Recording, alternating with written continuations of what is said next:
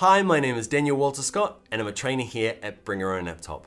Now, in this video, we're going to look at the do's and don'ts of a domain name.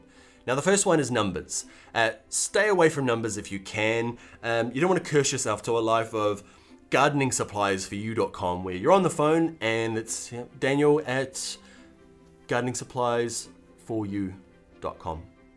Yeah, no, it's the, yeah, no, uh, for just, just the number four. Yeah and you. Yeah, just just you you by itself. Yeah. Okay, don't do that to yourself. Also stay away from hyphens if you can. Hyphens generally mean that the good domain name's gone. Um, you've you've searched and you've found gardening supplies or greengardeningsupplies.com. Okay, and it's gone.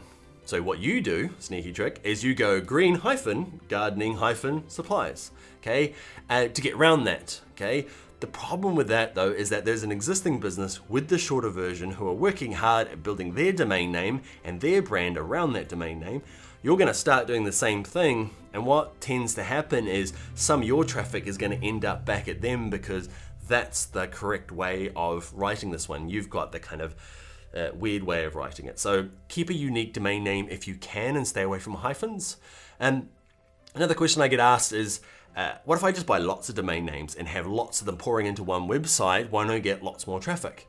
And that doesn't work. What happens is, is a website has one primary domain name and all the rest of the domains that point to it, um, they will redirect, but they won't bring an equal amount of extra traffic in, okay?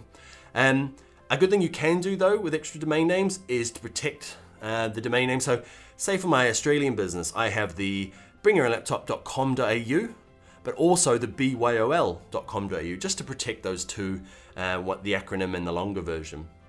Um, also useful if you plan to go into kind of other localized parts of countries. So um, if you plan to not only do the US, but also the UK and Australia, getting the .co.uk, the .com.au, and um, all the other localized ones can be really handy. So um, we'll talk about that in the next video actually, because that's actually quite an important part, deciding whether to buy .com or the localized, say, .com.au for Australia. All right, let's, let's go check out that in the next video.